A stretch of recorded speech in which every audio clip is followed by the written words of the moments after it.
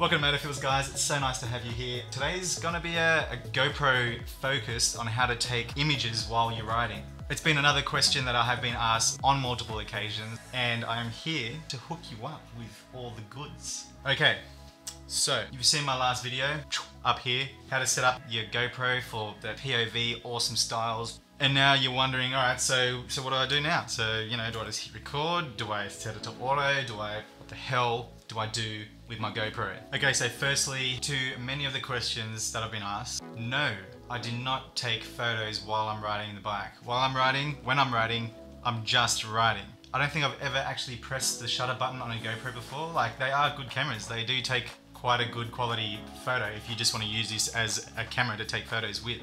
But I've never done that while riding. I've even had some people send me photos of dudes strapped DSLRs on their chest and like, man, is this what you do? What do you do? How do you take these photos? So I always shoot in 4K. There's never a time I'm shooting in 2.7K. There's never a time I'm shooting in 1080 or 720. 4K all the time. I do it because for me, as I'm riding, I've got this on, I'm riding, and I'm literally taking 24 images per second that I can use to share with you guys on my Instagram. So I'm doubling up here. I might be vlogging or I might be just riding, having a great time, and I'm just getting that awesome footage.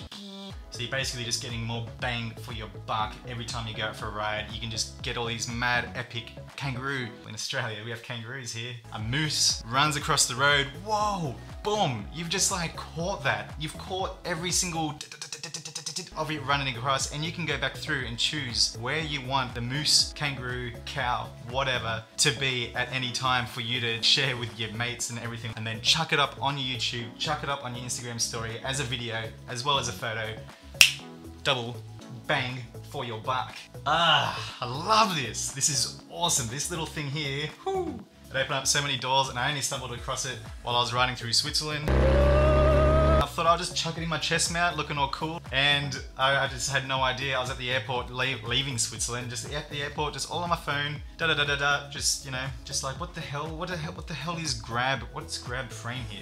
Pulled the frame in, threw one of my presets on, boom, my mind was blown. Threw it up on Instagram, you guys smashed it, you guys munched it up, got so many likes, and I was just like, this is it baby. This is a this is a new little technique I can do. So I started wearing it all the time and now I've just got like so many photos to choose and pick from. Anyway let's go into it. Let's get into it a bit deeper. I'm going to talk about my settings and then we're going to go through how to pull it off your GoPro edit in Lightroom chuck a preset on there and then off the Instagram and start crunching that Instagram game of yours. Okay so I'm going to chuck the settings up right here. So you can get your phone out and take a photo of it. There it is, there it is, there it is, going, three, two. Okay, so you're sorted. Now go out for a ride and come back. Damn it. Okay, you're back. Alrighty guys, jumping in your phone, you're gonna open up the GoPro app, you're gonna say view media. Alright, so there is the footage of the ride that I just went on today. Man, it was good. Cold, but good. Okay, so down the bottom, you're gonna see that little icon of a picture with an arrow pointing up. You're gonna tap on that. This is your grab photo section. And from here, you can sort of swirl, like slide through. Oh, look at like how even just good does that look? You can just go through this bad boy.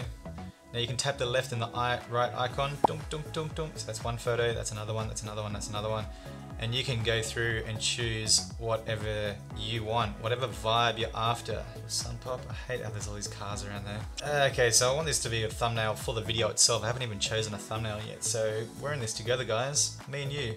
So now, what I like to do, because your shutter speed is slower, you're gonna get that motion blur, which is cool, but see like right there, right now, everything is hella blurry. So that's obviously me going, huh?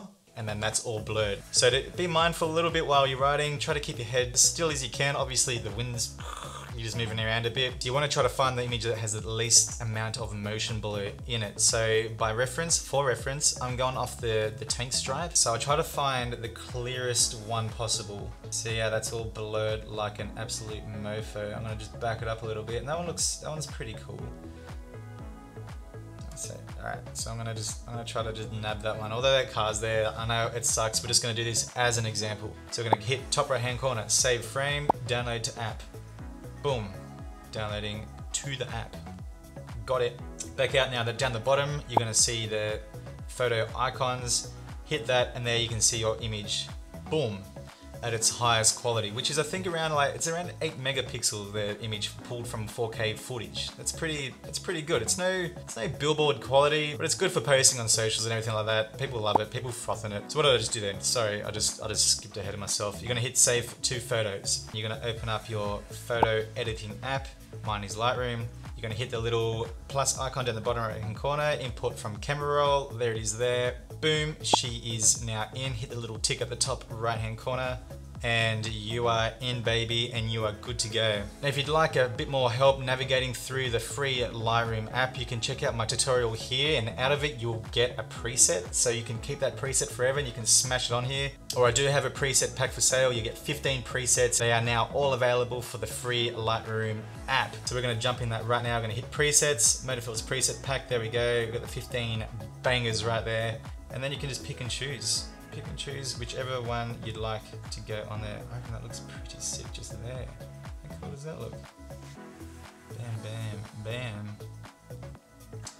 Sweeper is always a favorite of mine. I'm gonna hit that bottom right hand corner, hit the little tick. Might just line it up a little bit. Bring those heights a little bit lower. Bring those whites a little bit down. Boom. Before, after. It's subtle, but subtlety is key when it comes to editing. If you want to end up uploading this to Instagram, say, personally, I don't like uploading photos that are so landscapey, so wide. So this is 16 by 9 and for Instagram, I like to post 5 by 4 so it takes up the most screen space. So I will crop this to it's 5 by 4 but it's actually 4 by 5 and just adjust that as much as I can to get as much as I can in. You do crop a bit out of it which sort of does suck a little bit but this is just one of those things, it depends what you sort of want to be in the photo, which, you know, that looks cool. Rule of thirds, if you don't know about rule of thirds, maybe I'll do another video on that, another tutorial, another Thursday tutorial. Keep this Thursday tutorial vibe rolling. I'm digging it, it's a cool little vibe. And there you go, bam, you're gonna hit top right hand corner, export to camera roll, and now that is good to go. It is that easy. That's all you have to do. All right, let's do another one. Um, we're gonna do another one because this is hella fun and that was an awesome ride and I'm just keen as to see how it went. Okay, so this is where I was cruising across the Anzac Bridge. Yeah, it's one of my favorite. Look at that. It's it's such a sick bridge. It's awesome riding over it. You got the city there. Sydney City is right in the background. Oh, what a good time cruising through there. There's a cool spot here where there's usually a lot of traffic, like all through here. Rolling right around. There's this cool part with these glass, these glass windows. Yeah, these these golden glass windows. I wonder if we can do something with that. Ooh, that looks cool. So again, I'm just trying to find that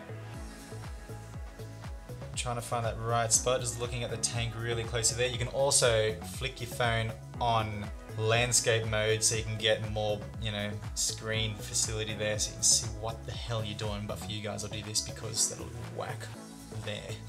Cool, alright, uh, we'll try that out. Let's do that, save frame, boom, download to app. Now you can just go crazy. You can save as many as you want. You can absolutely just go mental. Remember, you're taking 30 photos in one second. So you've got like, you've just got so many.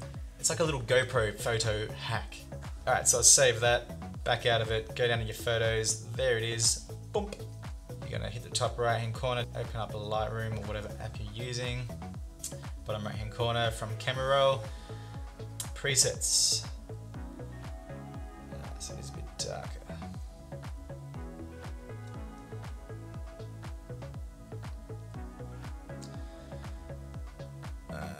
Been digging my red line. I'm gonna go with the red line again just because I've been digging these blues. I really like the way these the blues come out. Brighten it up just a little bit.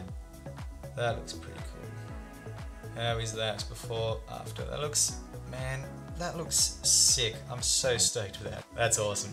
Alright, so then I'm gonna just crop it. 5 by 4 I might even use this photo for the... Might even use this for the thumbnail, who knows? This is why you want to use Super View because you want to get most, you want to get all that in there. It's just annoying that it's, you know, you sort of miss out on the whole thing.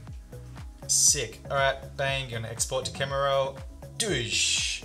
And guys, that's pretty much it. That's that is how I take photos while I'm riding my bike. You know, I'm not rolling I'm not rolling around like this with my my camera just, you know, hanging out. It's quite simple, it's quite easy. If you have a GoPro and you have a chest mount, just start with the chest mount first. You don't need to have all the gear or anything like that to take some awesome photos using your GoPro and doubling up and taking some footage and snaps at the same time. You can just go all out. Start getting epic footage from your country, from wherever, you are, your city. I want to see, I'd love to see more of this style of photo from people around the world. Like wherever wherever you are. And make sure you tag me. If you're using my presets as well, tag me, MFZ presets, and I'll share your stuff on my stories and get a get a cool little vibe going. Hope you liked that little tutorial. I will delve into more of the settings and everything like that maybe in a, in a later vlog. We'll just We'll just smash the settings. I'm like, I'm still mucking around and testing out new things, trying and trying and pushing, pushing them boundaries to try to get the most out of this little guy because this, while you're riding your bike, is like the most important camera you can have. Alright guys, that is it from me. I'm Rob Hamilton. Thank you so much for watching. I hope you liked that video. If you did, please leave a thumbs up and subscribe if you'd like to see this on a weekly basis. And I'll see you all next week. Peace, legends. Be the sun.